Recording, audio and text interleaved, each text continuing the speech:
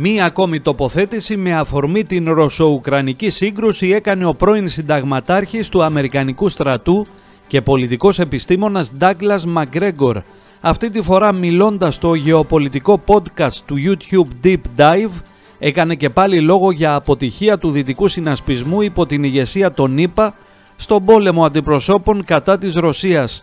Για να δώσει μία εικόνα της τρέχουσας κατάστασης στη Δύση, θυμήθηκε τη σκηνή από την ταινία Downfall 2004, στην οποία ο Αδόλφος Χίτλερ, τον οποίο υποδίεται ο ηθοποιός Μπρούνο Γκάνς, ρώτησε για την τελική νίκη λίγο πριν από την αυτοκτονία του. Οι Ναζί μιλούσαν συνεχώς για τον πόλεμο. Από τη μία πλευρά ο Μακρέγκορ επισημαίνει την έλλειψη στρατηγικής από την πλευρά των ΗΠΑ και των υποτελών τους όπως είπε, που συμβαδίζει με μια αληθινή εκτίμηση του εχθρού.